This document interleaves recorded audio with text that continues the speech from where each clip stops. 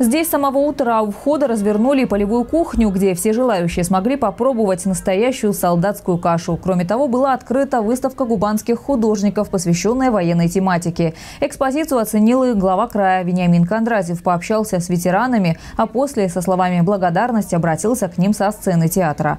Губернатор отметил, что такие встречи накануне праздника необходимы для того, чтобы в очередной раз вспомнить, какой ценой стране досталась победа. Мужество наших отцов и дедов дедов, их любовь и вера в свою страну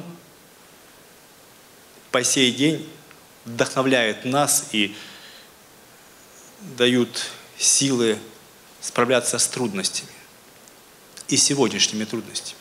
Непростое время, непростой день. Слава Богу, без взрывов бомб.